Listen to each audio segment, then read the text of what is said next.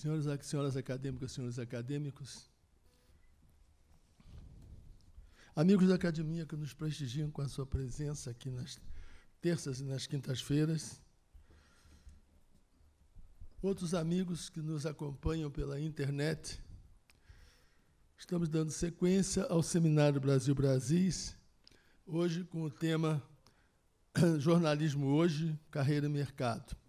Como todos sabem, mas sempre é bom reiterar, o Seminário Brasil Brasis ele se centraliza num dos aspectos que a academia costuma prestigiar nas chamadas práticas estéticas e nas práticas simbólicas. É a cultura fazendo-se no cotidiano da realidade brasileira. A outra contrapartida é a cultura feita, aquela cultura feita dos valores que a sociedade institucionalizou como representativos da sua brasilidade. Aqui estamos hoje para um seminário que tem uma estrutura diferenciada. O titular é um acadêmico, é sempre um acadêmico, e esse acadêmico dialoga com os seus convidados. Esse diálogo é aberto, ele pode constituir-se numa intervenção dialogada ou numa série de três uh, intervenções paralelas, ou como bem entender o titular da coordenação, a quem eu, nesse momento, tenho o prazer de passar a palavra, acadêmico, jornalista Cícero Sandoni. Muito obrigado, senhor presidente. É, eu tenho a honra de participar desse seminário Brasil Brasis, que o presidente Domício tem nos dado com muito entusiasmo. No entanto, hoje não temos uma plateia grande, pero, como dizem os espanhóis, somos poucos, pero somos buenos. Então, é... se você permitir, não multa, você me desligar, não multa, não multum, sede multa, quer dizer. É, é verdade. E depois todo esse Contamos com a presença aqui do acadêmico Ivanildo Bechara, que muito nos honra. E, mas esse seminário está sendo transmitido pela internet. Quer dizer, vamos ter um público aí digital um pouco maior e ele fica durante um mês, né? Durante um mês. Durante um mês. Quem quiser se informar sobre, o, sobre os, os pontos que nós vamos discutir aqui e amigos que talvez não vieram por uma razão ou por outra, nós teremos aqui, é, teremos possibilidade de ver esse, esse encontro pela internet. O nosso título é Jornalismo, hoje Carreira e Mercado, e ali está escrito da galáxia do Gutenberg, o universo digital. Parece que essas duas coisas é, é, em conflito. se opõem uma com a outra, mas não, em jornalismo é assim mesmo. O jornalismo tem a seção política, a seção de esportes. Então, é isso tudo que nós vamos ver aqui, faz parte da carreira e da profissão e do, do universo de Gutenberg, da galáxia Gutenberg, ao, o, ao nosso, à nossa internet informática.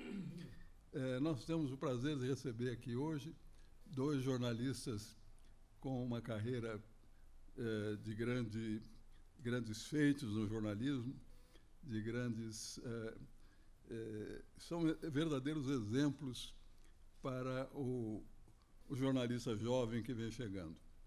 Ah, à minha esquerda está a nossa querida amiga Ana Arruda Calado, que vou ler rapidamente aqui o currículo, o mini, mini, mini currículo. Ela foi repórter do Jornal do Brasil e da Tribuna de Imprensa, chefe de reportagem do Diário Carioca. Diário Carioca, naquela época, acho que Nilo Dante trabalhava lá também, era o jornal mais popular do Rio de Janeiro. Popular no sentido de bom, não era populista, era popular, havia uma cultura popular. E foi chefe de redação do jornal alternativo Sol, que foi até motivo de uma canção do Caetano Veloso, né? o sol na banca dos jornais. E chefe de redação da editora Delta, ela, ela é enciclopedista também, então, nesse sentido, e responsável pela edição das enciclopédias Delta, Universal e Universo. e foi editora do Caderno Infantil do Jornal do Brasil. Ela foi professora de jornalismo, sempre por concurso, nos cursos de comunicação da PUC do Rio de Janeiro, da Universidade Federal Fluminense e da Universidade Federal do Rio de Janeiro, sendo que nesta concluiu os cursos de mestrado e doutorado. É autora de seis biografias, ela se especializou em biografias de mulheres, quer dizer, nessa parte biográfica de mulheres brasileiras. Dona Maria José, sobre Maria José Barbosa Lima, que era mulher do nosso querido antigo confrate aqui, Barbosa Lima Sobrinho. Geni, Amazona, Valquíria e Vitória Regia. Adalgisa Neri, Maria Martins e Darcy, a outra face de, de Vargas. Esses, desses livros, nesses livros ela mostra não só o interesse literário, mas como a vida dessas mulheres e como elas influenciaram os seus maridos e, e, a, sua, e a vida profissional dos maridos. É, Nilo Dante, bom, é, antes, antes Ana, Ana, eu gostaria apenas de fazer uma introdução do assunto. Eu não sei se você quer falar agora? Não, não. não. Então, eu, eu gostaria de fazer uma introdução rápida do assunto, como é de costume aqui na casa. É, nós estamos falando sobre imprensa, né?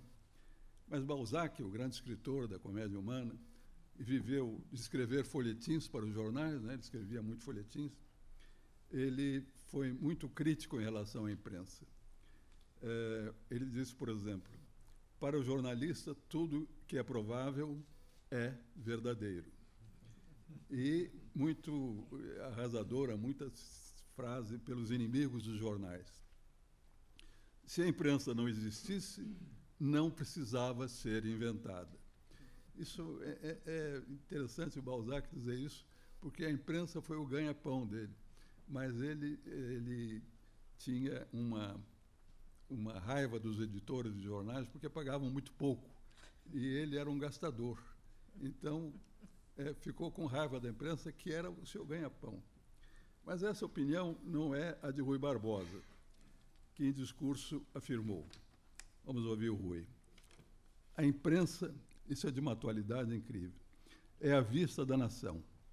Por ela é que a nação acompanha o que lhe passa ao perto e ao longe, enxerga o que lhe malfazem, devassa o que lhe ocultam e tramam, coube, é, colhe o que sonegam e roubam, percebe onde lhe alvejam ou nodoam, me, mede o que lhe cerceiam ou destroem, vela pelo que lhes interessa e se acautela do que a ameaça.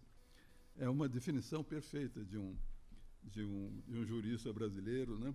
cujo, cujo pensamento está baseado, remonta ao iluminismo, pensadores da Revolução Americana, os federalistas, notadamente Jefferson, eh, um, um, um dos pais da pátria nos Estados Unidos, que dizia entre um governo sem imprensa e uma imprensa sem governo, preferia essa última situação. Quer dizer, é melhor ter imprensa sem governo. Parece atual e deve ser lembrado, por exemplo, dos que defendem a liberdade de imprensa, mas gostariam de suprimir os jornais. Tem uma tem muita gente que não, liberdade de imprensa é isso, é formidável, mas eu não gosto dos jornais. Então, Aí fica uma situação meio. Está é, tá numa peça do, do, do Tom Stopper dessa frase.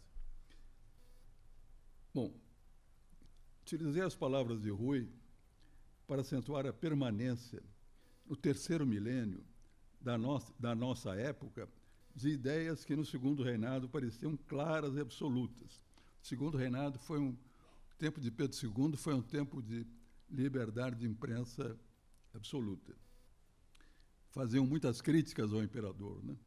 E, e, e, e quando os, os, inconformados com a liberdade de imprensa encontravam no monarca um sólido obstáculo às suas pretensões obscurantistas, ele alegava: com uma lei de imprensa assim, com uma lei de imprensa assim, quem me informaria sobre o que os ministros estão fazendo? é uma frase que ficou marcada na história do Brasil, mostrando a importância da imprensa. Né? E, mas a verdade é que a liberdade de imprensa, o, período de liberdade de imprensa no Brasil foi muito curto, se pensarmos nos, no, no, no, no, tempo de, desde 1822, com a independência.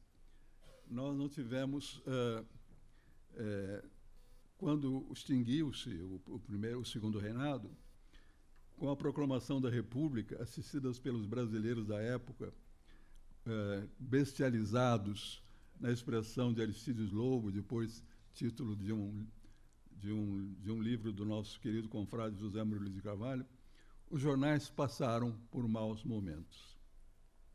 De 15 de novembro de 1889 até os primeiros vagidos da nova República de Tancredo Sarnez, o número de anos sob o guante do censor ultrapassou aqueles em que a planta da democracia, tão frágil e tenra, nas palavras de Otávio Mangabeira, garantiu razoável liberdade de imprensa.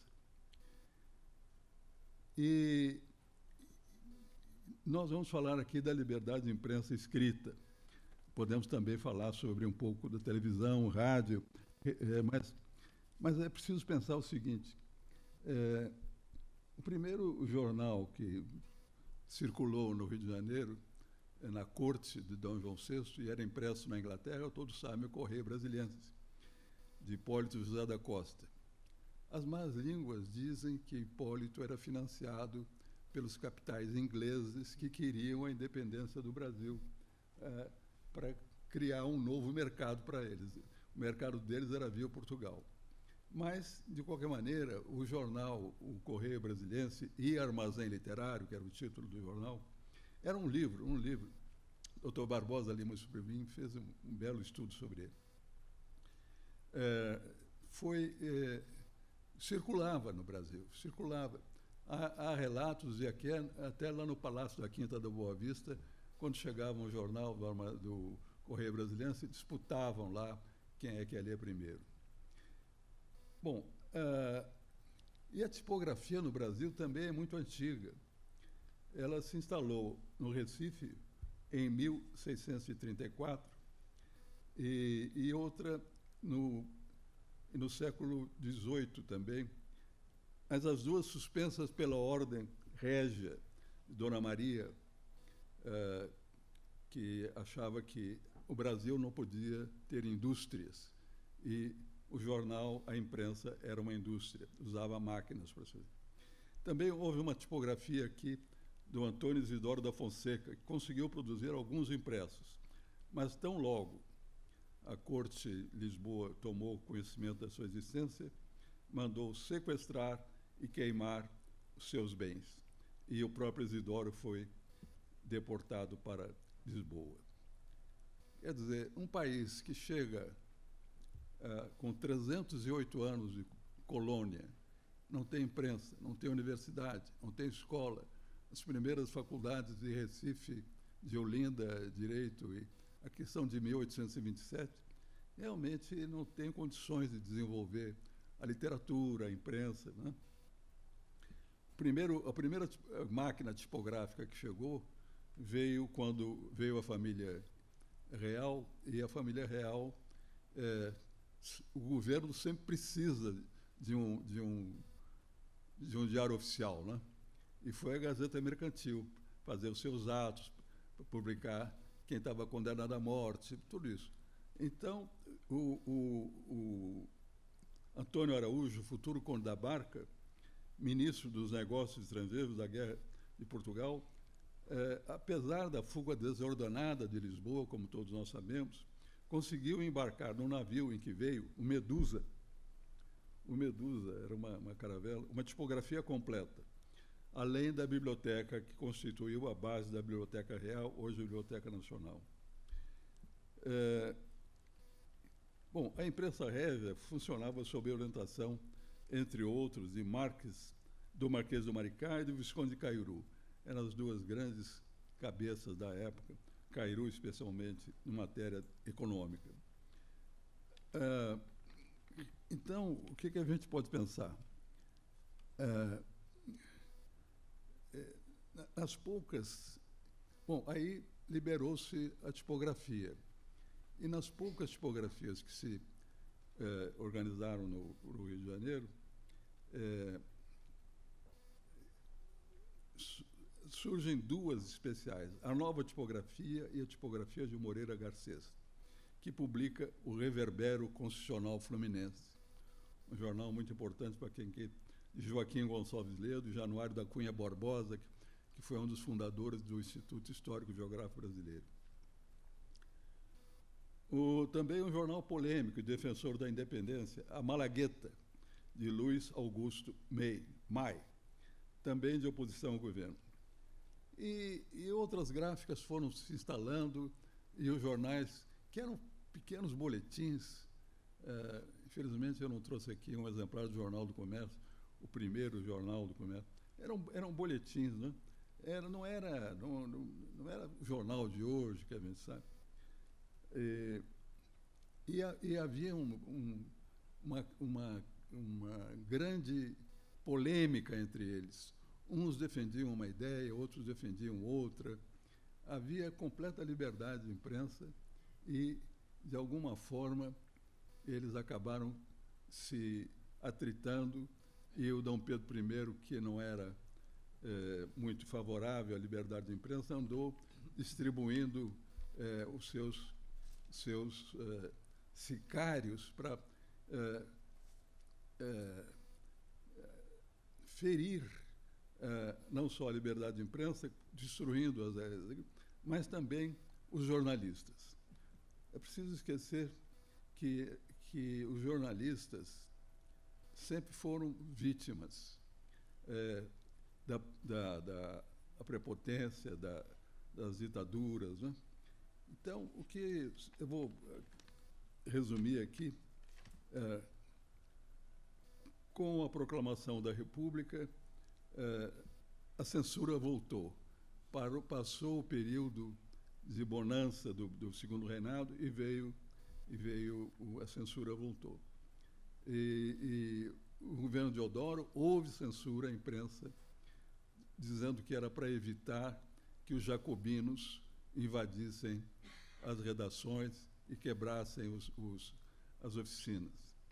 Rui Barbosa era ministro da Fazenda do, do governo Deodoro, mas o Deodoro segurou muito a imprensa e com Florando Peixoto foi uma ditadura, né? Para muitos, Florando Peixoto para muitos foi o consolidador da República, mas também ele agiu com mão de ferro, é o marechal de ferro, porque ah, ah, a imprensa com ele não tinha muito muitas vezes.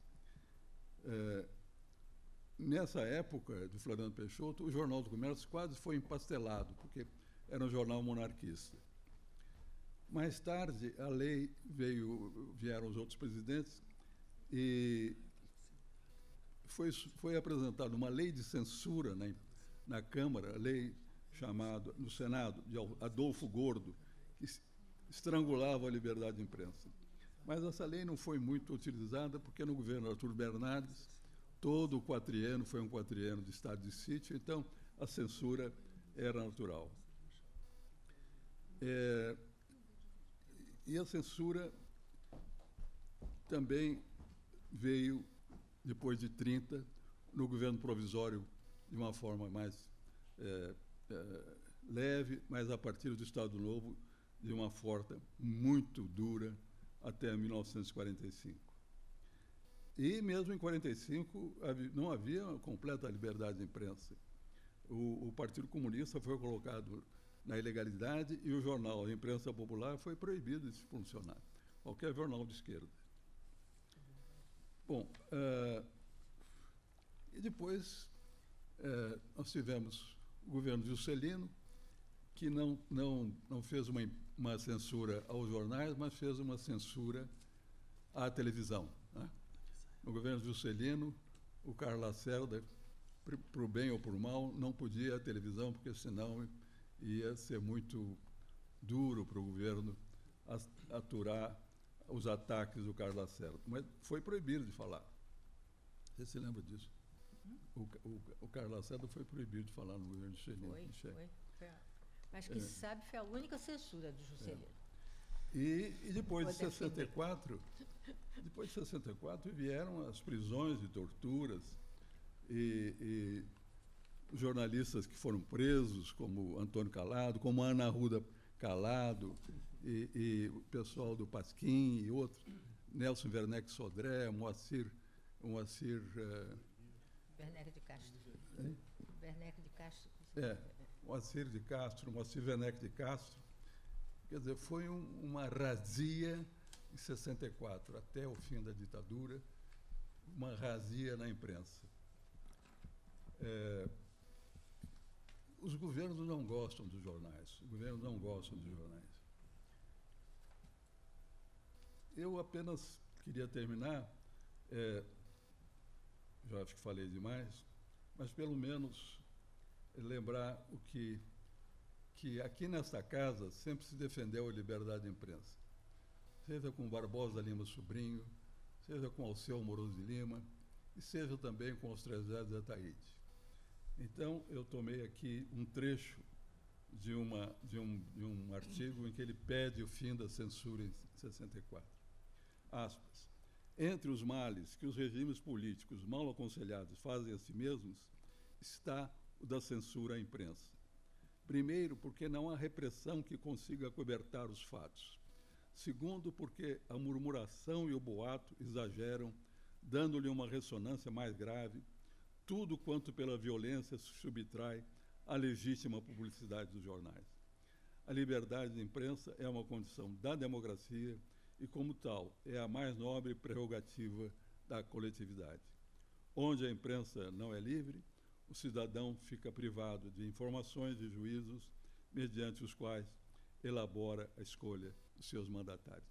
Isso está é, inteiramente fora dos meus temas aqui, da tema, mas eu achei que era uma boa oportunidade para falar um pouco sobre dar umas pinceladas sobre os primórdios da imprensa e sobre o problema da de imprensa.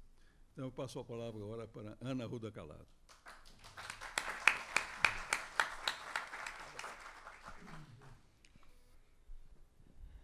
Senhor presidente da Academia Brasileira de Letras, professor Domício Proença Filho, acadêmico Cícero Sandrone, meu colega de mesa, jornalista Dante. Esqueci o nome do Dante. Nilo Dante. Ia, ia dizer Dante, Dante Vidiano. Nilo Dante. Senhores acadêmicos, meus amigos, eu vou recuar mais no tempo do que Cícero, porque eu vou começar do começo mesmo, ou que se pensa ser o começo das primeiras manifestações humanas de comunicação social. Os chamados homens das cavernas, porque habitavam, uh, se abrigavam, né, habitavam lugares onde pudessem se defender dos perigos, tiveram seu meio de comunicação social, as pinturas rupestres. Esses desenhos que fazem a alegria dos arqueólogos são, em geral, considerados como obra de arte, né? Tanto se diz arte rupestre. Mas outros especialistas interpretam aqueles desenhos como informação sobre o que existe nos arredores ou fixação de ocorrências. Né? Eles desenhavam e pintavam coisas para dizer aos outros o que estava ocorrendo por ali. Enfim, eu classificaria alguns daqueles desenhos como reportagens sobre alguma caçada ou combate realizado, que eles já combatiam entre si e desenhavam os combates. Essa arte mural sempre conservou, ao lado do seu caráter artístico, um aspecto de informação social. Lembro aqui, dando pulo no tempo, os famosos muralistas mexicanos, que no período revolucionário do país, que foi nas duas primeiras décadas do século XX, puseram sua arte a serviço da construção de uma nova identidade nacionalista e inclusiva do México. Eram muitos, né? mas ficaram na história política e artística os três grandes, né? Rivera, Orozco e Siqueiros. Eu acho curioso como veio de tão longe e até hoje, porque eu acho muito interessante os grafiteiros do Rio de Janeiro. Eles fazem trabalho semelhante, de crítica e de informação. Há um recente que eu acho uma maravilha de resumo de, e de é, muita informação contida em uma frase. É, é, em letra bem bonitinhas, põe assim: Não fui eu, em vários lugares da cidade. Eu acho isso de uma, um poder de comunicação fantástico. Mas a comunicação social escrita e impressa, no chamado mundo ocidental, começou no século XV, todos sabem, com a prensa móvel de Gutenberg. Mas para fabricar jornais, essas, essas prensas primitivas primeiras né, só começaram no século XVIII a fabricar jornais. O Brasil, Cícero já falou bastante sobre a censura, mas eu queria ressaltar aqui o seguinte: o Brasil é sempre um país diferente. A censura à imprensa nasceu antes da própria imprensa aqui. Em 6 de julho de 1647, o rei Dom João IV de Portugal emitiu uma carta. 1600, eu estou falando. Emitiu uma carta régia proibindo a impressão de livros e jornais na colônia da América do Sul. O marco inicial de nossos meios de comunicação foi quando passou a circular, Cícero também já disse, em 1 de junho de 1808, o Correio Brasiliense, editado em Londres por Hipólito da Costa, que era um gaúcho da colônia do Sacramento, que hoje é território uruguaio.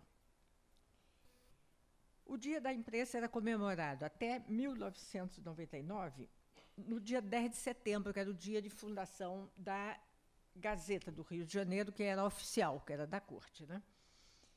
Depois passou a ser, então, a data do Jornal do Hipólito, 1 de junho. Que foi anterior, né? Você vê que o Hipólito, o jornal dele chegou ao Brasil antes da existência do jornal oficial. E essa dualidade é, é muito interessante. O Brasil com jornal oficial e um jornal combativo, um jornal que lutava pela independência. Só que, como já vimos, o jornal combativo era certamente defendia, não sei se era financiado, dizem que, mas certamente defendia interesses da Inglaterra. Então, vamos dizer o seguinte: que interesses defenderão hoje os supostos jornais combatentes? É uma coisa para a gente pensar. Quando eu fiz a, o livro sobre a Dalgisa Neri, que foi casada com o nosso Goebbels, né, o chefe da censura, o escritor Lorival Fontes, eu entrevistei o, o tesoureiro do Departamento de Imprensa e Propaganda, que era o departamento que oficialmente fazia censura no Brasil. Licurgo Costa era esse tesoureiro. E ele me afirmou o seguinte, que a verba secreta do DIP era o que fazia o órgão tão poderoso. Aspas. Bastará dizer que de todos os jornais do Rio e de São Paulo, apenas dois, Correio da Manhã e Estado de São Paulo, não eram subvencionados através do DIP. Mesmo o Correio da Manhã, porém, recebia matéria paga do DIP como editais, mensagens do governo, etc. Agora, os outros todos recebiam de 25 a 100 contos de réis por mês, o que constituía excelente contribuição para a precária saúde financeira da maioria daqueles diários que disputavam os escassos leitores da capital federal. Isso é textualmente o que Licurgo Costa me disse. O empresariado e isso é um dos pontos que eu quero colocar aqui na minha reflexão. O empresariado alimentando e sustentando os regimes ditatoriais, mesmo quando aparentam combatê-los. Licurgo Costa, nessa mesma conversa, me confirmou uma velha anedota que corria sobre a relação, a relação do DIP com os jornais.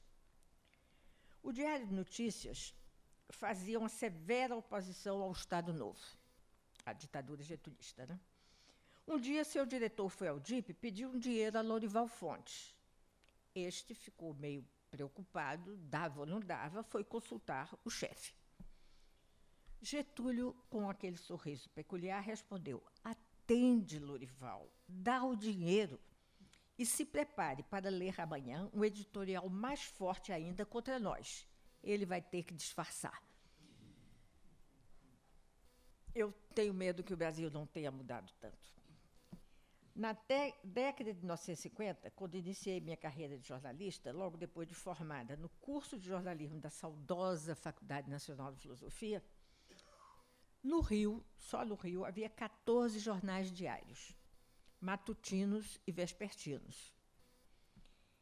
Os vespertinos faziam o papel que hoje é da televisão, davam a notícia do dia, né? do que tinha ocorrido de manhã ou muito tarde da noite da, da véspera. E os matutinos davam as notícias da véspera, como todos os que saem hoje. Né? Todos os jornais, os diários que publicados hoje. Mas os jornais naquela época, 1950, 60, tinham muita influência sobre a população. Isso é bem diferente de hoje.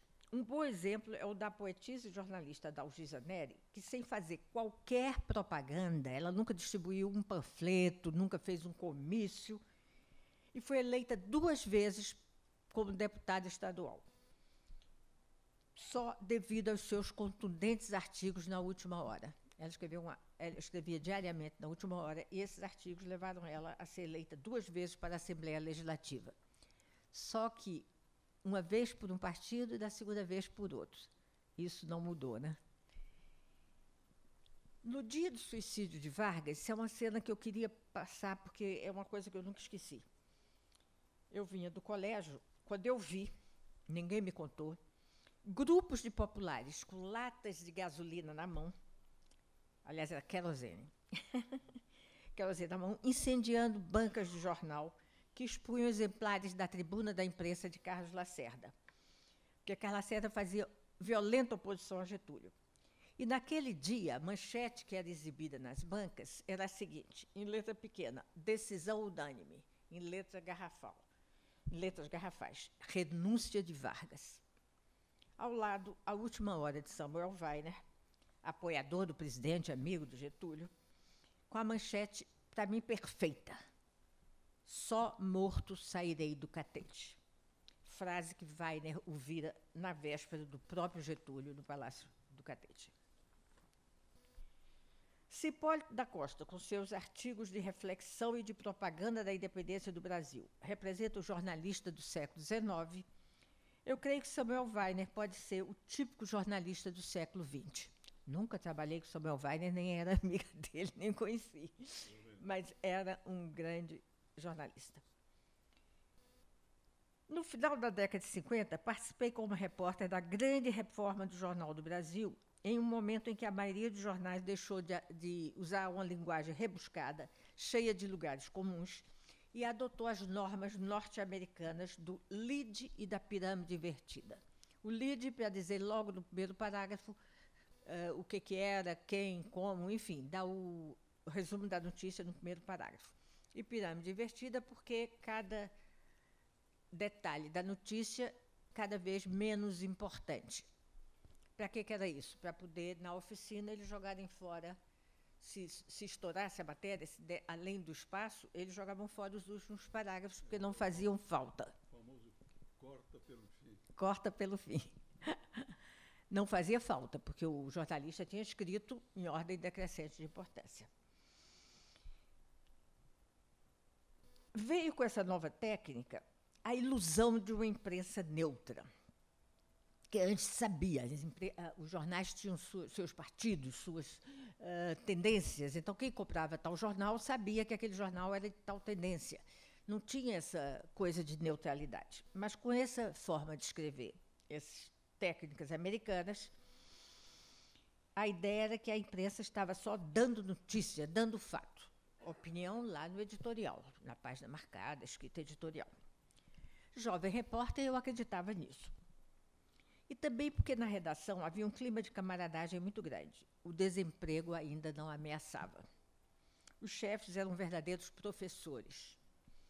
E havia o copydesk, que lia as nossas matérias, as dos repórteres, e eh, dava um jeito nelas, ou corrigiam, ou simplesmente eh, penteavam, como eles diziam, eh, né, melhoravam. O Copdesk Jornal do Brasil, naquela época, tinha gente como Ferreira Goulart, Nelson Pereira dos Santos, acadêmicos desta academia, hoje, e baixo Cláudio Meli Souza, José Ramos Senhorão, Nilson Lage. Todos na ilusão de que trabalhavam para informar a população, pelo menos os mais jovens. E, de fato, em grande parte, o JB, o Jornal do Brasil, de 1958, 59, 60, fazia isso.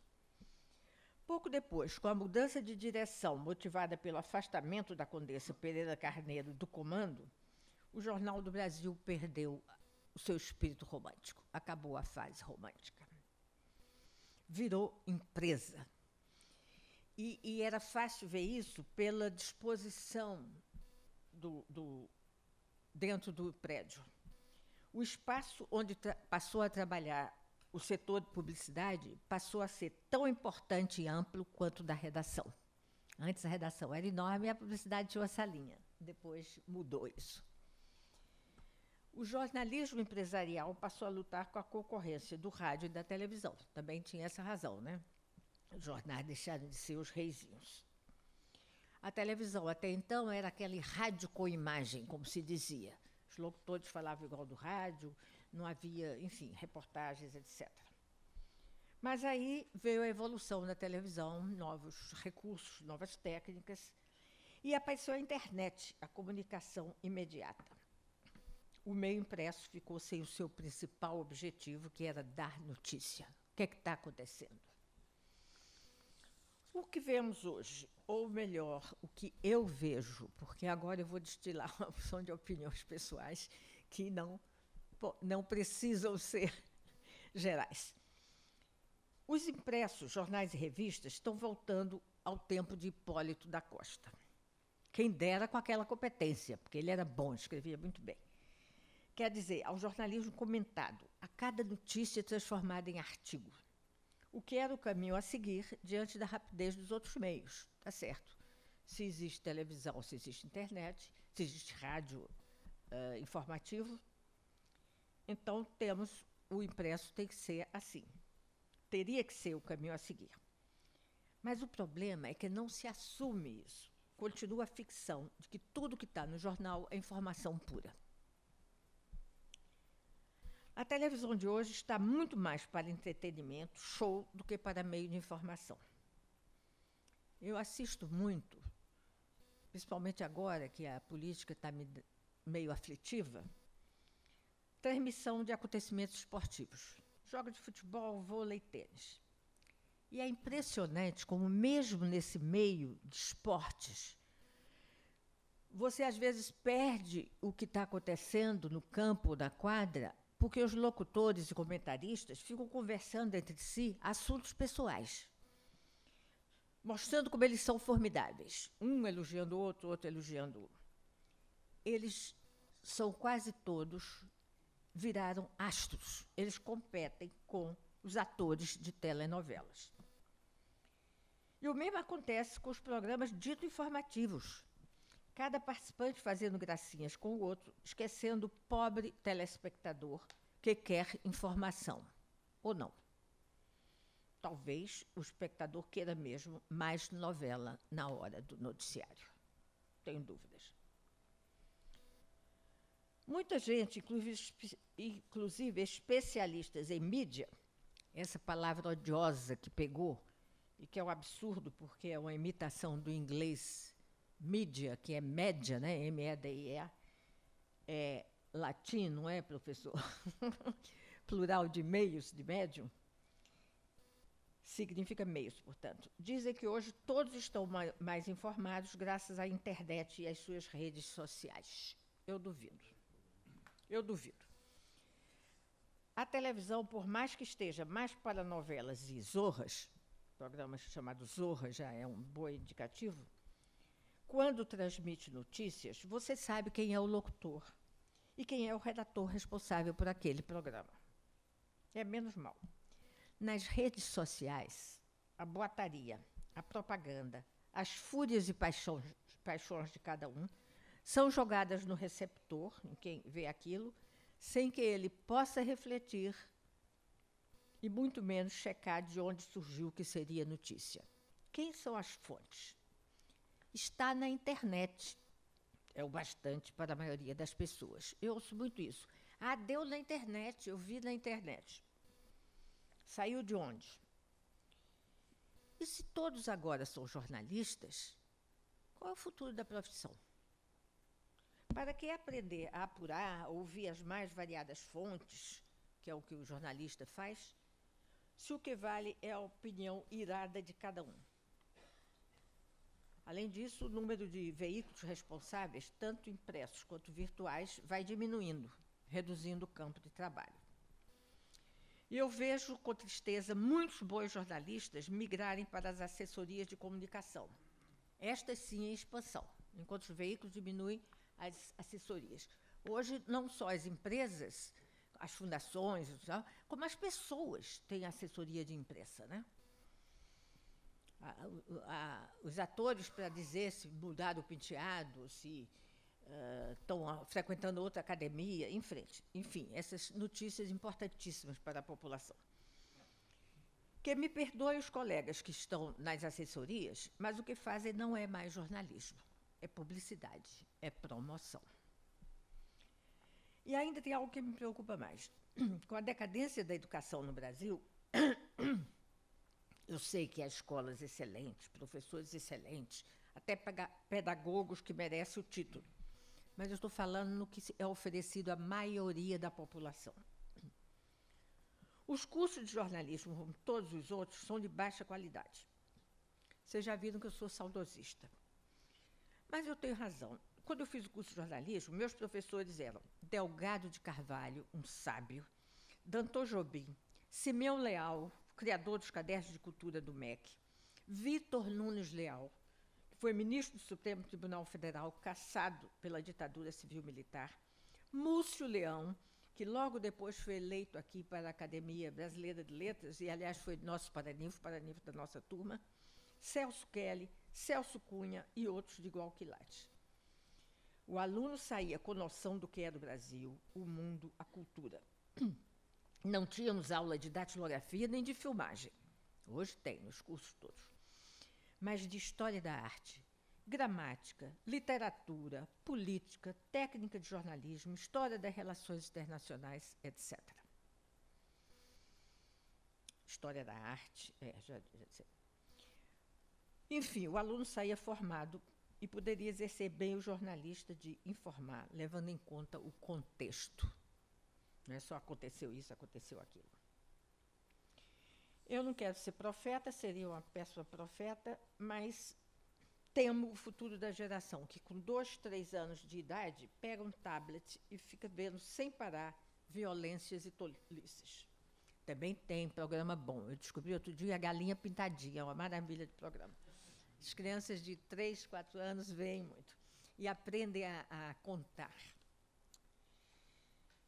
A contar e a uma pessoa de coisas boas também.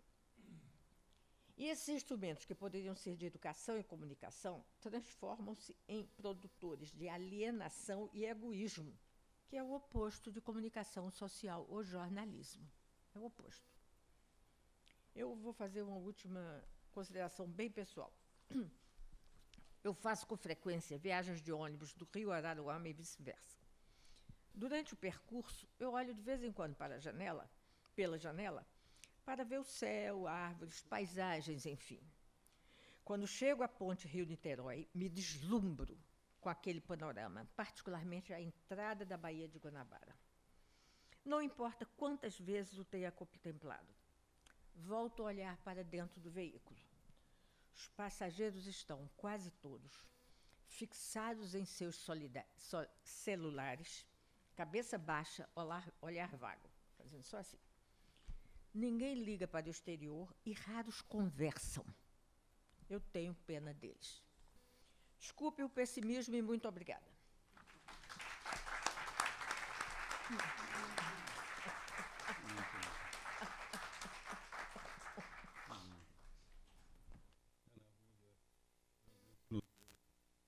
panorama muito é, profundo sobre o drama da imprensa brasileira. Eu vou passar a palavra agora para o Nilo Dante e depois a gente pode fazer um, um bate-bola aqui, se for o caso. Nilo Dante, é, Nilo Dante de Giovanni, que é o nome dele. Possui uma das mais extensas biografias da imprensa brasileira, sendo o único jornalista que trabalhou em dez jornais e dirigiu cinco. Jornal do Brasil, Diário de Notícias, Jornal do Comércio, Última Hora e Tribuna da Imprensa. Além de secretário de redação do Correio da Manhã, entre 1964 e 1968, atuou também como repórter, fotógrafo, colunista e comentarista político no Diário do Carioca, em A Noite, O Globo e O Dia. A gente começa a falar dos jornais, todos acabaram, né? impressionante. E nas revistas Mundo Ilustrado, Manchete, Fatos e Fotos e O Cruzeiro. Foi correspondente de O Globo, Correio da Manhã, Diário Notícias, Mundo Ilustrado e Jornal do Comércio nos Estados Unidos, na Argentina, no Paraguai e no Reino Unido.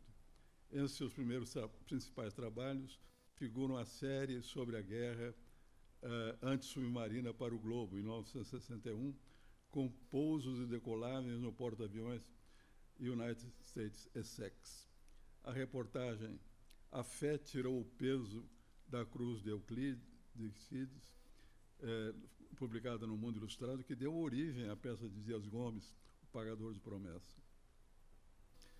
E, e a quatro mãos com Joel Silveira, a cobertura da intervenção do regime militar, militar em Goiás e a cobertura de duas eleições presidenciais nos Estados Unidos e uma no Brasil. Foi redator de, da MPM Propaganda, diretor do, da Plano Propaganda, eh, diretor de comunicação social do IBC e, e coordenou a criação do símbolo do café do Brasil, o raminho da seleção brasileira da Copa de 1982. Infelizmente, o Brasil, com o melhor time, não chegou lá. Nilo Dante de Giovanni nasceu na Barra do Piraí, filho de ferroviário Egílio de Giovanni e da professora Maria José Fernandes. Fez os estudos, eh, fez os estudos secundários no Colégio Dom Pedro II, internato Espetrato, onde foi colega do nosso presidente Dionísio Proença Filho. Enfim, trata-se de um jornalista com uma biografia é, forte, daquele que foi repórter, que foi correspondente, que foi diretor de jornal, um comentarista, cronista. Quer dizer, ele jogava nas onze, como se diz em futebol. Jogava nas 11 posições. Com a palavra, Nilo Dante Giovanni. Obrigado, Cícero. Ah, presidente Domício, acadêmico Cícero, minha colega Ana, senhores acadêmicos, minhas senhoras e meus senhores, eu devo estar um pouco nervoso, porque eu tenho aqui. É, é, Primeiro, que é uma honra estar aqui falando na academia. Segundo, porque eu tenho ao meu lado alguém que eu conheço há mais de 50 anos. Nós fomos alunos do Colégio Pedro II no internato. Né? E o Cícero, que é uma pessoa com quem é, nós, nós somos amigos desde os anos 50, cobrimos juntos como repórteres algumas coisas interessantes, como a presença do comandante Fidel Castro no, no, Rio de Janeiro, no Brasil, pela primeira vez, e me deu o melhor emprego da minha vida, que foi na redação do Globo, onde ah, nós não apenas recebíamos em dia, como recebíamos quinzenalmente. Era uma coisa incrível naquela época. E tinha décimo terceiro salário. E, tinha, e era, uma, era uma redação primorosa muito confortável, pessoas incríveis. Imagina os senhores que de manhã, de vez em quando, adentrava a redação de braço com o doutor Roberto, o Augusto Frederico Schmidt, por exemplo, gente desse tipo. O Conil, nosso Conil, também conheci lá na redação do Globo, e, uma, e, e muitos outros jornalistas. O Globo foi uma, naquela ocasião, como tem sido através dos tempos, uma, uma casa de grandes jornalistas. Eu, eu queria também aqui mencionar aos senhores o fato de que esta casa é, de certa forma, uma casa de jornalistas, porque dos duzentos e tantos acadêmicos, pelo menos uns cento e tantos foram jornalistas de militar na redação, né? além do que ah, quase todos andaram escrevendo, enfim. Ah, desses eu menciono aqui os. Menciono o fato de que atualmente 20% dos acadêmicos são jornalistas ah, que ralaram, se me permitem a expressão, na redação. Eu cito o Cícero, o Coni, o Arnaldo Nisquet, o Murilo, o Merval, o Goulart, o Zuenir e o Nelson Pereira dos Santos. Eu só não trabalhei com o Nelson Pereira dos Santos e com o Merval. Com os demais eu trabalhei nessa longa, eh, nessa longa carreira que o Cícero mencionou. É, e, e, esses dez jornais, essas quatro revistas e essas direções todas, que eu eu, eu, quando menciono isso, eu conto uma certa vantagem, mas, é, de alguma forma, é, é, eu acho que é um negócio, se me permitem, é um negócio de otário, porque eu devia ter feito uma carreira, é, devia ter sido menos, é, menos um andarilho e me fixado mais, como muitos outros colegas fizeram. Mas, tudo bem. Queria também mencionar aqui dos acadêmicos jornalistas, aqueles com quem eu lidei. Porque os senhores vão me desculpar, mas eu tenho a impressão, eu sinto que eles estão por aqui. Porque essa é uma casa, como eu disse, de jornalistas. Como eles não estariam quando nós nos reunimos aqui para falar do ofício que eles tanto amaram? E, e, com Cícero, com a Ana, enfim. Então eu acho que eles estão de alguma forma aqui.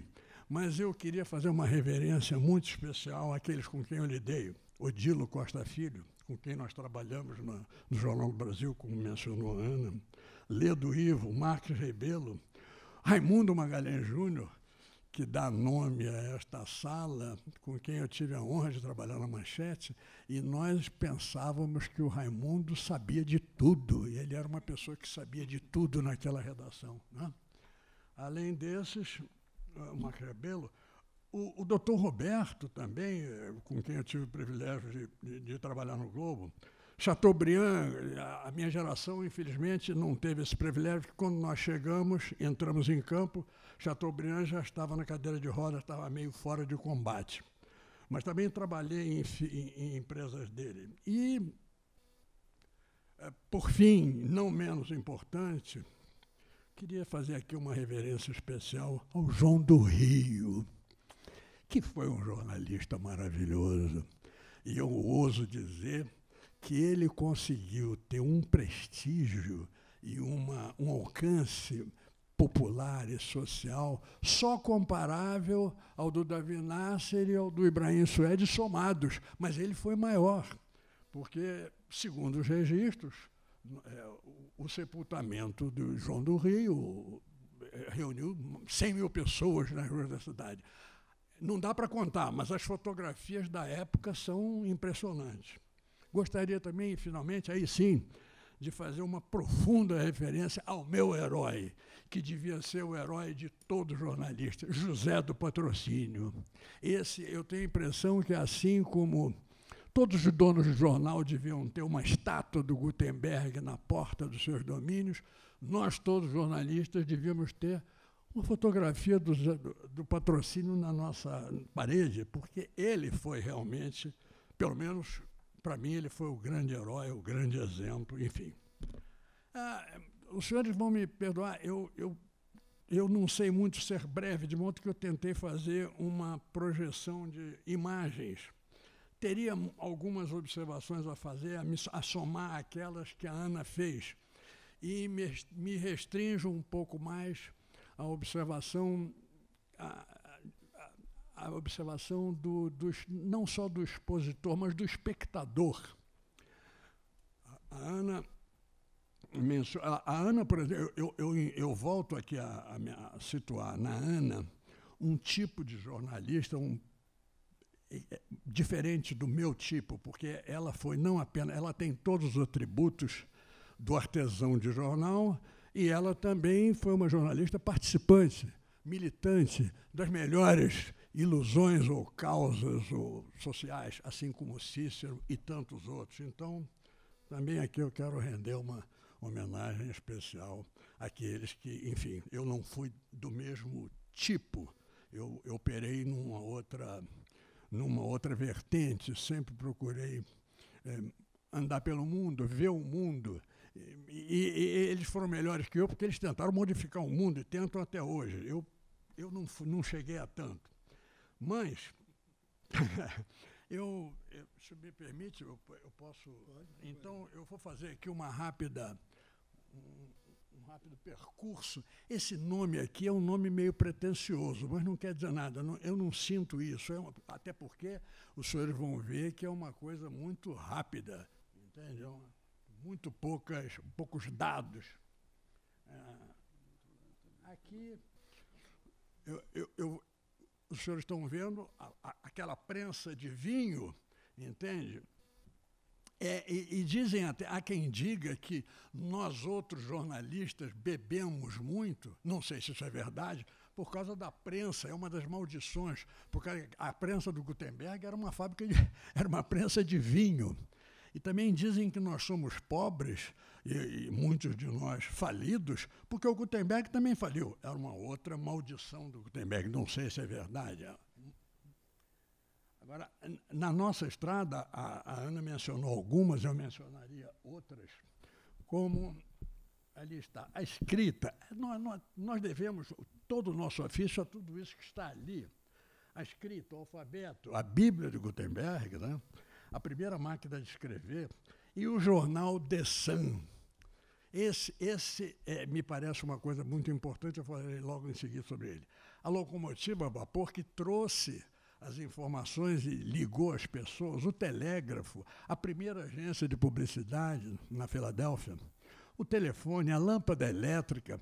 O que eu quero dizer com isso, a rotativa, duas rotativas aqui, a do Hall e a do Bullock, é, as ondas de rádio, a, a, câmera fotográfica do Eastman, a máquina de composição, é, essas, todos essa, esse, é, esses objetos fazem parte de certas é, peculiaridades do nosso ofício, da nossa indústria, sobretudo, que é ter sido favorecida por avanços extraordinários tecnológicos para os quais os donos de jornal, os donos da indústria, nada contribuíram. São coisas que aconteciam a látere e a imprensa, a indústria da imprensa se beneficiou disso. A mais fantástica, o mais fantástico dos benefícios oferidos pela nossa indústria foi a editoração eletrônica. Por acaso, é, é aquele justamente que vai matar os jornais. Mas os jornais, me refiro naturalmente aos jornais de papel. É uma, continuando aqui, eu, uma pequena uh, esse aí é um dos primeiros jornais de que se tem notícia. Eram folhas de uma página, duas, de natureza mercantil. Elas davam informações sobre chegadas e partidas de navio. E o nome Gazeta, que vem até hoje em várias, em várias publicações do mundo inteiro, ele se deu porque era uma moeda divisionária do reino de Veneza. E aquele papelinho chama, eles eram vendidos, aqueles papelinhos, por uma gazeta. Então, ficou, esse nome gazeta vem daí. Assim como o courant. O courant vem da, do francês a corrente, o courant, a corrente, a corrente do rio, que leva as notícias, enfim, é, eram mas notícias, como eu disse antes, mercantis. Né? Esses são outros, é o primeiro, esse jornal aqui ainda se publica até hoje, né? na, lá na, em Connecticut. Eu pincei um dos nossos jornais, na época muito importante, a Gazeta de Notícias. Esse é o número um da Gazeta de Notícias. Quatro páginas. Agora, esse aqui, pouco conhecido, mas ele é extremamente importante, o Benjamin Day, ele era um tipógrafo de Nova York, que teve, ele teve a ideia de é, acrescentar aquelas informações mercantis o fé de ver, o suicídio, o assassinato, o roubo, as coisas que ocorriam na comunidade. Ele inaugurou isto, a começar pelo título do jornal dele, cuja legenda, eu, eu digo que ele é o primeiro jornal a noticiar a vida, e é verdade. A legenda, este era o jornal dele. A legenda era brilha para todos. É um negócio, devia ser, devia ser o grande princípio dos nossos jornais, e nem sempre é. E no SAM, nós nos encontramos a primeira carta do leitor de que se tem notícia. É uma carta de uma menina de 9, 10 anos de idade. Ela disse, é, ela, não, 8 anos de idade. Né? Ela, que tem, ela diz que alguns dos meus amigos de infância, uh, meus pequenos amigos, dizem que não existe Papai Noel. Então, meu pai disse que eu deveria eu, é, consultar o SAM para saber se existe ou não existe. Então ela escreve isto ao Sam. Por favor, diga-me, é verdade que, que existe Papai Noel? O Sam responde a ela: sim, existe Papai Noel. É uma coisa maravilhosa. Esse episódio do primeiro é, é o primeiro leitor que se socorre de um jornal, pelo menos de que nós temos notícia. Agora, o Sam tornou-se um fenômeno de, de circulação, chegou a vender 35 mil exemplares e ele, e, com essa série imaginária que ele fez sobre os homens da Lua, habitantes da Lua. Então, as pessoas naquela época, 1835, ficaram fascinadas.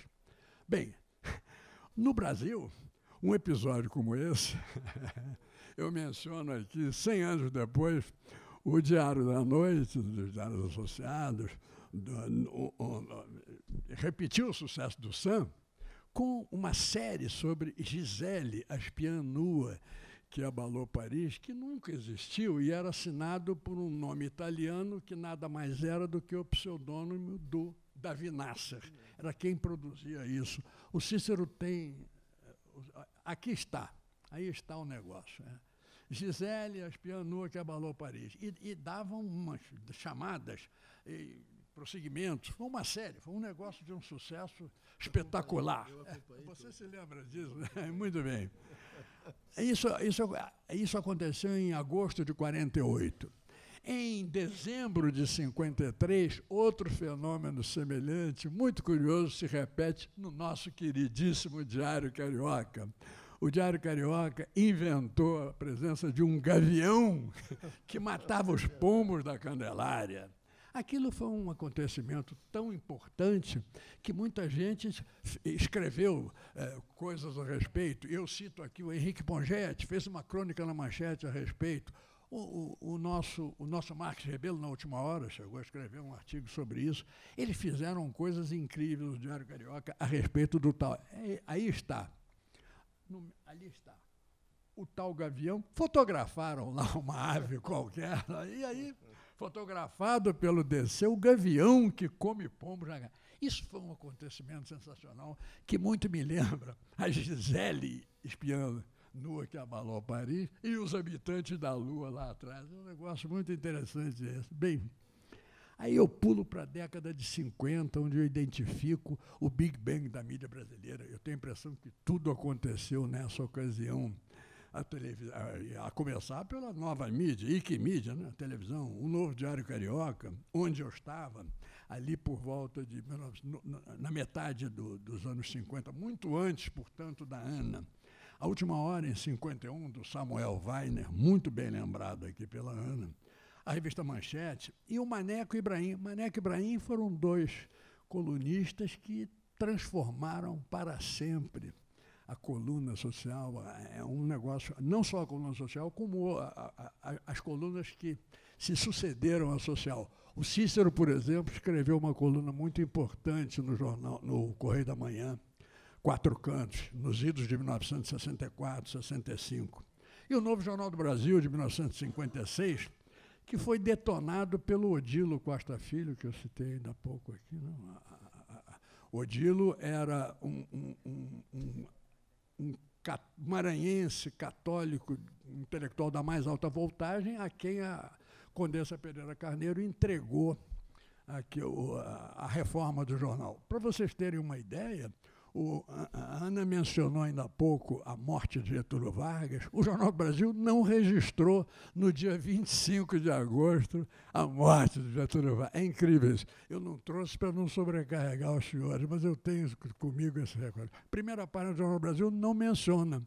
Há uma vaga chamada para alguém que está lamentando uma tragédia, mas não tem aquele, aquela informação. É, não podia prosseguir um jornal desse que era muito rico, porque tinha anúncio da primeira à sexta página, aqueles anúncios, pequenos anúncios, era muito rico. Enfim. Mas ele foi muito importante, Ana já falou sobre isso. Agora, menciono que de 98 para cá, os nossos grandes jornais do Sudeste sofrem uma grande queda de circulação. Basta vocês, isso aí talvez não esteja muito claro. É pior do que o que vocês estão vendo. E isso é o nosso globo, nosso, enfim. A, a verdade está aqui, nos últimos eh, dez anos. Em 2005, por exemplo, a média diária do Globo eram 262 mil exemplares. Dez anos depois, essa média são 183. E é, isso se comporta em todos os outros jornais. A queda mais dramática é do dia. Mas o dia me pareceu que desistiu de ser jornal quando os empresários portugueses, espanhóis compraram aquilo, enfim. A Folha também cai muito e o campeão nacional, a Super Notícia, se mantém é, como jornal de maior circulação no Brasil. É um pequeno tabloide de combate lá de Belo Horizonte. Enfim, e é bom dizer aqui que nós, a Super, a super Notícia, não chega a vender 300 mil exemplares por dia. E o Brasil, com isso, não coloca nenhum jornal entre os 100 maiores, das maiores circulações do mundo, porque a centésima circula 600 mil exemplares por dia. Bem, agora, é claro que os jornais mudaram muito, e aqui é uma pequena referência a isso. Esse diário de notícias que vocês estão vendo aqui tem artigos, aqui é, é a primeira página do segundo caderno do Diário de Notícias, lá de, dos anos 50. Você tem artigos aqui da Raquel, Raquel Queiroz, Gilberto Freire, Sérgio Buarque de Holanda, por exemplo. Estão aqui fazendo um artigo na primeira página do segundo caderno do, Jornal do, do Diário de Notícias, alguma coisa assim. Correio da Manhã também esse Correio da Manhã, que os senhores estão vendo aqui, primeira página do segundo caderno, tem é, artigos assinados por Guimarães Rosa, Paulo Roney, Edmundo, Edmundo Muniz. Então, como os senhores estão vendo, os jornais mudaram um pouco. Né? As primeiras, os primeiros, os segundos cadernos, de, ditos culturais, mudaram muito de feição. Eu trago aqui é, três, porque costuma-se dizer que a internet está matando os jornais. A internet hum, é evidente que não favorece os jornais, mas ela ainda não está matando tanto. Eu mostro aqui esses três campeões. É o jornal de maior circula o jornal físico de maior circulação nos Estados Unidos, o Wall Street Journal. Vejam vocês é, como é o Wall Street Journal. O jornal de maior circulação total, números de eh, exemplares impressos, mais a, a, circulação digital, aquelas coisas todas, é o US Today. E o New York Times está se comportando muito bem com, com, aquele, com aquele milhão, mais ou menos, de exemplares. Então, o que eu quero dizer, mostrando esses três jornais, é que lá nos Estados Unidos, vejam, senhores, olha aqui, o USA, 4 milhões de exemplares por dia, mas o escrito é apenas 1,4. O Wall Street Journal, 2,2. O New York Times, 2,1. Isso é englobando todas as chamadas plataformas, para usar essa palavra horrenda, digitais. Então, não é a internet que está matando.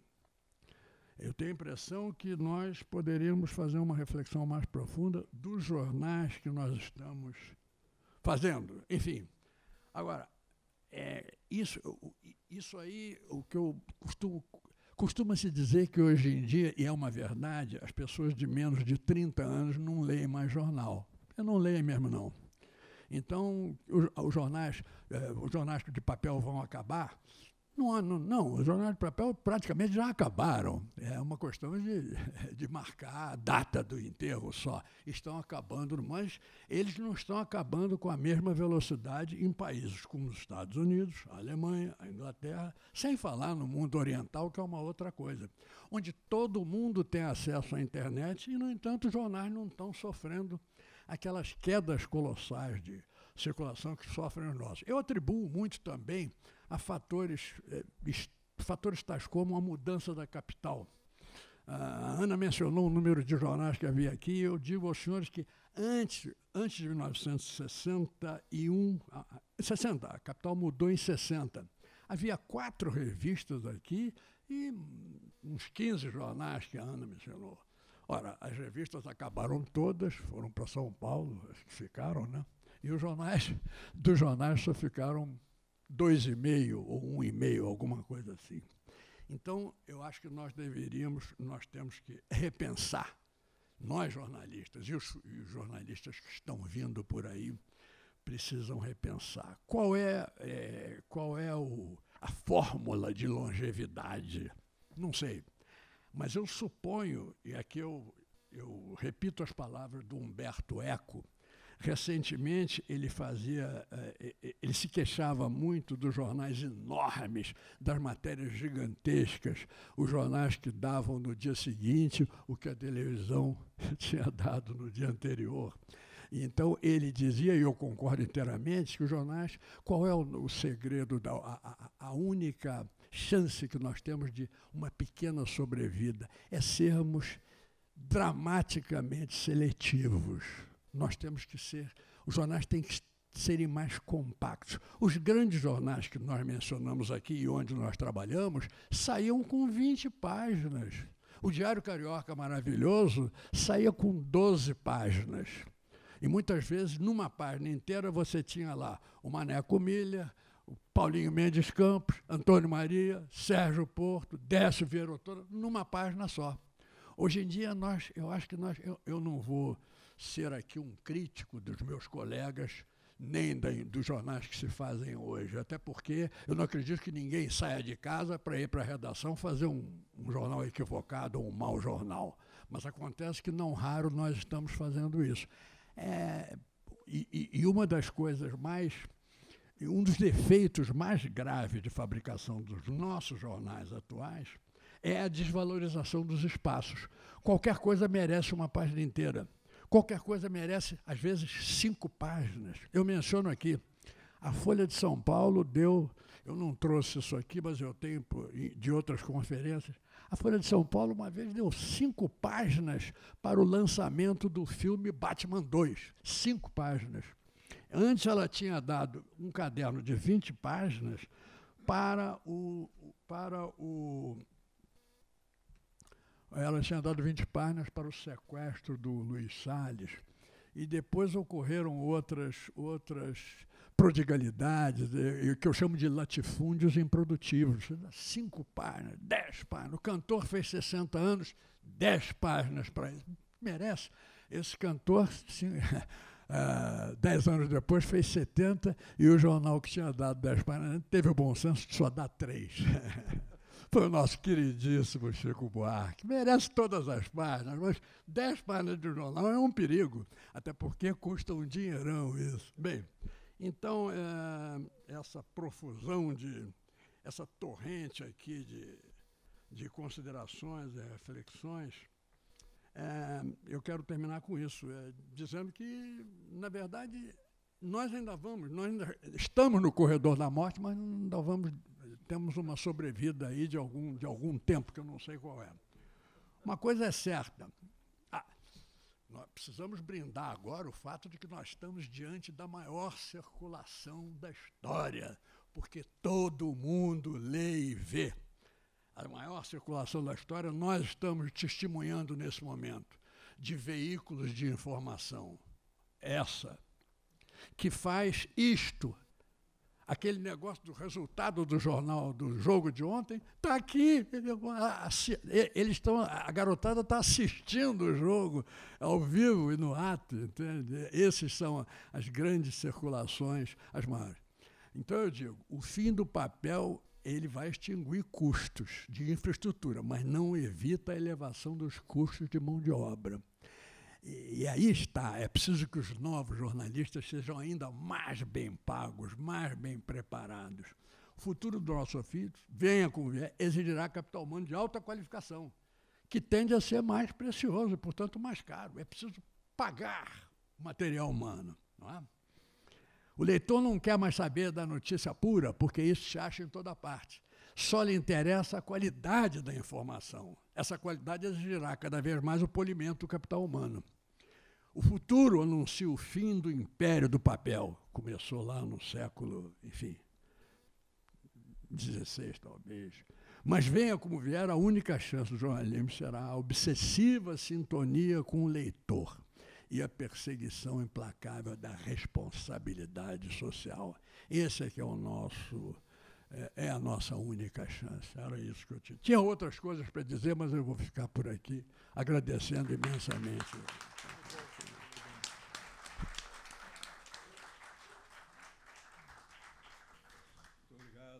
Dante, pela sua exposição tão entusiasmada.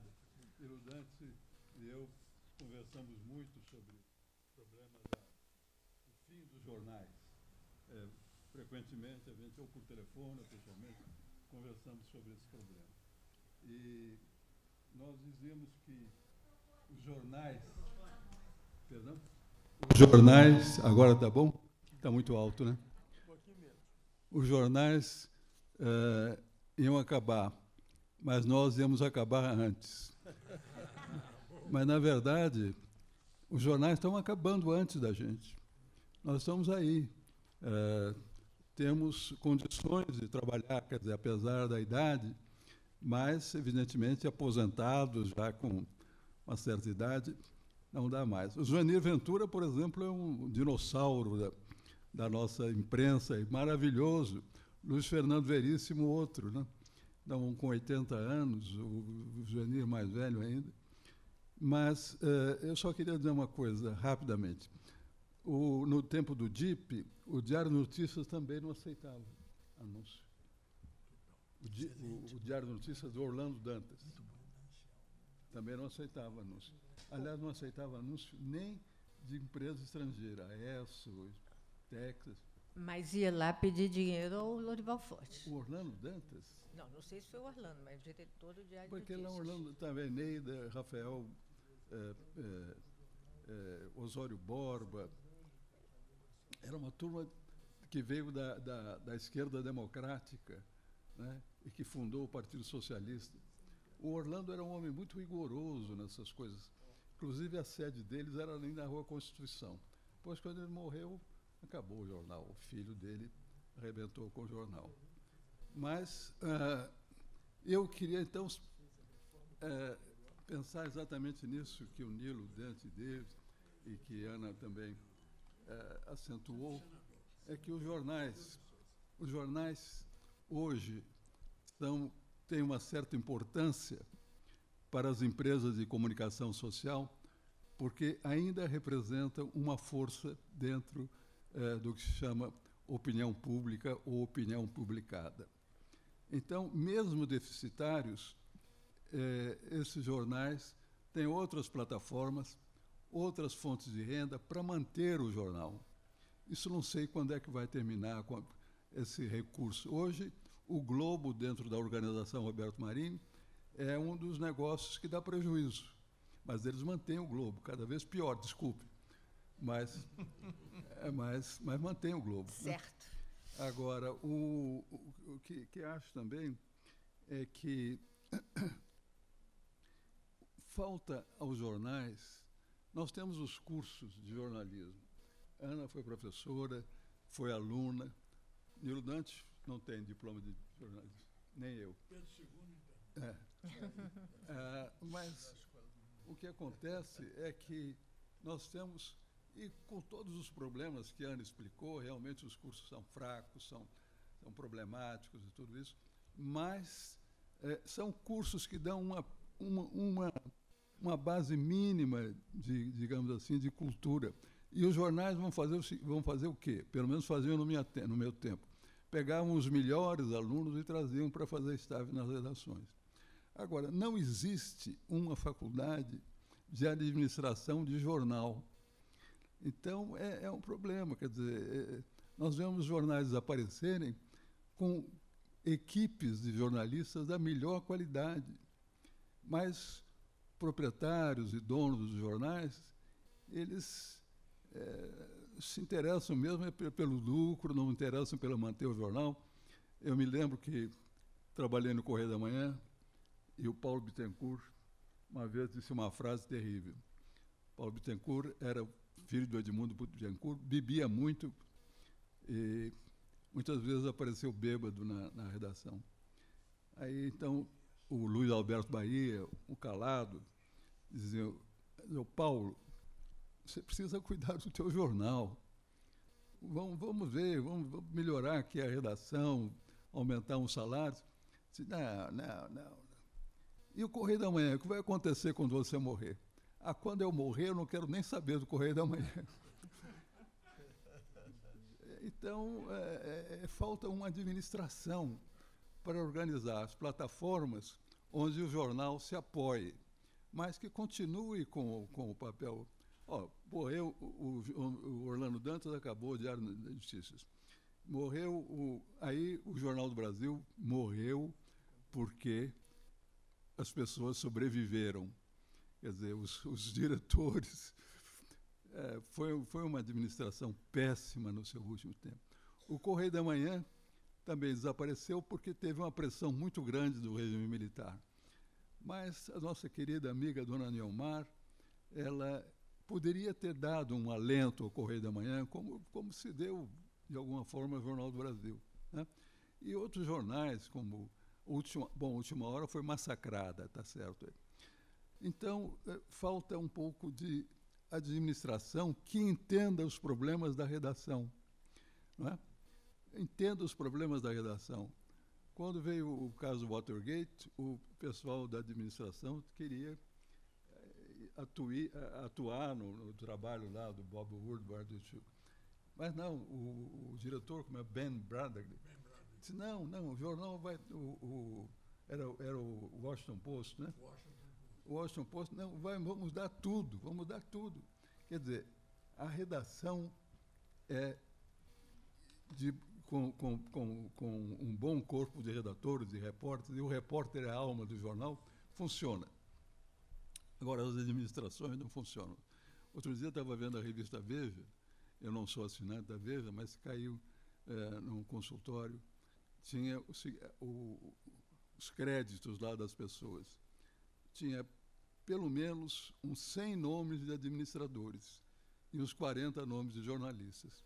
Assim, realmente não dá. Muito obrigado, senhor presidente. Ah, obrigado a você. O adiantado da hora nos leva a acelerar o final da nossa sessão, mas não posso deixar de convidá-los para terça-feira, dia 4 de junho, no ciclo de começo do novo ciclo de conferências. 5, perdão. No dia 5 de julho, obrigado a série Música e Cultura. Essa promete, como todas as outras, mas essa me parece muito especial. Aconselho. E também no dia 28 de julho do próximo mês, a última sessão, última quinta-feira do mês, mais um seminário Brasil Brasil, desta vez tratando de a literatura em festas, festivais e jornadas de norte a sul Uh, o coordenador, o, o, titular convidante, ou seja, o, o, acadêmico que convida, é Antônio Torres, que dialogará com Inácio de Loyola Blandão e Tânia, Tânia Hösing, a Tânia Hösing, que é a responsável pelas jornadas de Passo Fundo, infelizmente suspensas, por motivos que a gente lamenta bastante. Então, terça-feira, 28 de julho, todos aqui para as festas da literatura com Antônio Torres e seus convidados. Muito obrigado pela atenção. Antônio Torres está presente. Que está presente, Antônio é Torres lá. Também. também jornalista. Né? Muito obrigado a todos pela atenção. Até o próximo dia. Né?